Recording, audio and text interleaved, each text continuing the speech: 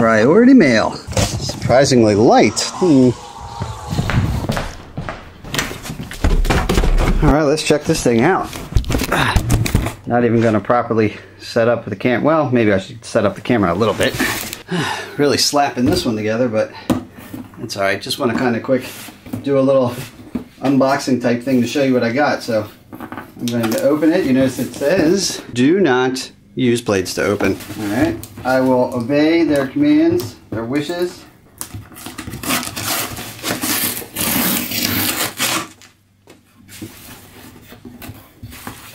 Oh yeah, what do we got there, people?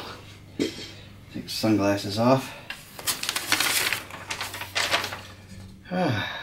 Thank you for supporting Hammock Gear. This here is a new hammock underquilt down that I got from Hammock Gear. That's the name of the company. It's actually a guy named Adam and uh, the letter I got also says thank you from Happy Trails from Adam and Jenny. As a matter of fact, let's just check this note uh, product detail thing that was in here real quick, shall we? Um, some tips and hints. I won't read this all to you, I promise. We'll make it a quick video. Um, underquilts can perform in temperatures well above their rating. There's um, suspension cords. Yep, we'll take a look at that. You can adjust the length. Don't over tighten. Uh, new design has been modified to better fit the contours of your body. All right. There is a wide end where your shoulders should be and a narrow end, so I'll have to pay attention to that. And if you have a... Please be aware leg and foot end are not arched. Tabs with D-rings are standard on all underquilts. We'll check that out. When you remove quilt from the box, it may seem compressed, airing it out for a minimum of 15 to 20 minutes. All right, so we'll keep that in mind. This will loft up more than we're probably going to see in this video. Um, maybe 20 minutes from now, it'll get its full loft.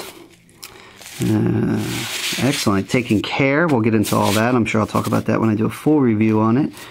Uh, storage, dry place when storing. Awesome. All right.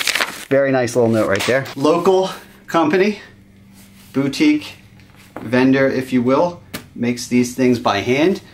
You order these and they will make it to order. So it's not like uh, Amazon where you're just going to order it and it ships out the same day.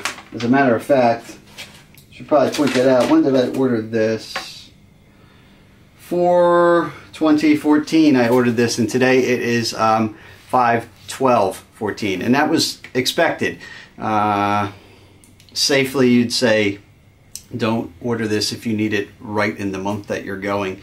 Uh, mine took uh, about a few weeks because it was made with love and care. I actually talked to Adam on the phone at one point just to verify my order and he was uh, very friendly and courteous, professional. So I had a good experience with that. Um, so but anyway, let's get this thing open, all right? Because as you uh, may know if you've seen the videos, I've been using pads in my quilt, um, pardon me, in my hammock which is not ideal uh, to use pads in a hammock. So I finally bit the bullet, spent a couple dollars, more than a couple, a couple hundred dollars of hard-earned money and got myself this quilt. So let's check it out. First things first, you may notice that it is camouflage and black. I did get it in multicam. Can you see that there? Oh man, look at this. There's the pattern before I sp spread it out. But I did upgrade, pay, I forget if I paid 20 extra bucks or something like that to get it in the multicam, which I just thought was cool. My hammock is a green color. This will go underneath. So between the two, I should be uh, somewhat discreet. So you'll be seeing this in the videos to come, I'm sure.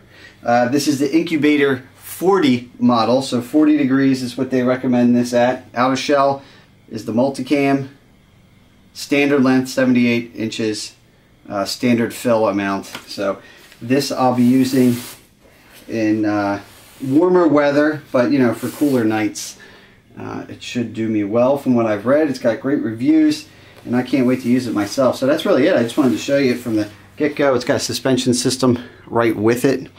I got to play around with that, but it did come with some S-Biners. um, right there for hooking up to your hammock. In my case, I have a Hennessy Expedition Asym, so I'll be hooking this up to that. And same thing at the other end, of course. The black will go up against the bottom of my hammock, and this will keep me toasty, or hopefully not too toasty, because I did purposely get a 40 degree model, and um, we'll see how that goes. Now, like I said, I've been waiting about two years to get, this is actually kind of weird by the way I'm looking up at the camera, kind of odd perspective, but uh, yeah, I've been waiting about two years to get an actual underquilt. Uh, I've been using a pad that I originally got for tent camping, a Z-Lite, and then I've also used uh, Klymit Inertia X-Frame, and then in the winter I've actually used them both together. And that got me through, but finally did this. It did cost me, if you're gonna get a legit nice down quilt, um, cost me around $250 or so, depending on the options you go with.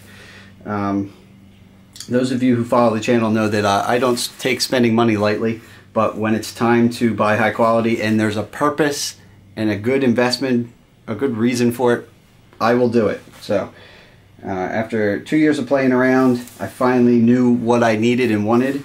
I'm glad I waited because I probably would have bought the wrong thing and spent a bunch of money before, but this is what I went with. Oh, let's pack it up real quick and um, and weigh it, which I should have done before I unpacked it, but eh, whatever. Comes with the little stuff sack here. Actually, let's weigh the stuff sack real quick first. There we go, got scale there, although this is carpet, so that's not a good idea. Hold on. Feels like a really nice material. A quarter ounce. Uh, you know what, we need a smaller scale. For accuracy's sake, uh, it's 10.8 grams, or to put it in ounces for you, it's 0.38 ounces super light on that. All right, whole thing together now. Let's see how it stuffs down. You see the stitching and everything looks great. I'm looking over it and the attention to detail is really awesome from what I can see just at real first glance here. Of course, you know, we'll see this in use in the next video, which is coming up soon. And I gotta tell you, it's very comfortable, soft feeling material.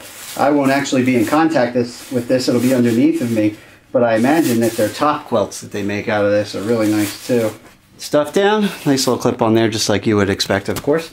And let's weigh it. Looking at one pound, four ounces. So uh, 20 ounces right there for 40 degrees of protection. And in grams for you, 565 grams. So, that's what that is. Remember, this replaces any pad that you might be carrying with you. So, yes, when I was carrying um, an inflatable Klymit pad.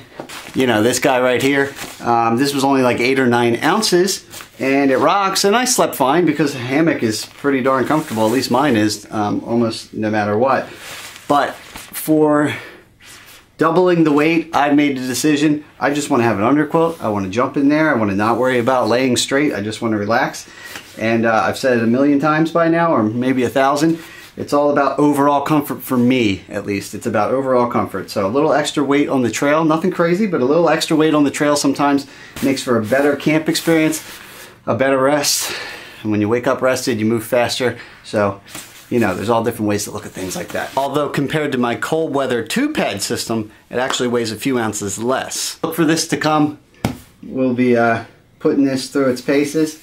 I'm really looking forward to using it and taking a closer look at it. But for now, this is the Hammock Gear Incubator 40 Underquilt. Down loveliness. Till next time, I'm Sintax77. Have fun out there. I have to actually admit, I was looking for a book to put this on and um, I gotta come clean. I actually purposely chose this book because I thought it would make me look smart. And I was gonna go with it, but uh, yeah, I gotta admit, I, I haven't actually read this book. You know, it's just one of those books you keep on the bookshelf. You know, your friends come over and they think you're smart. Shh.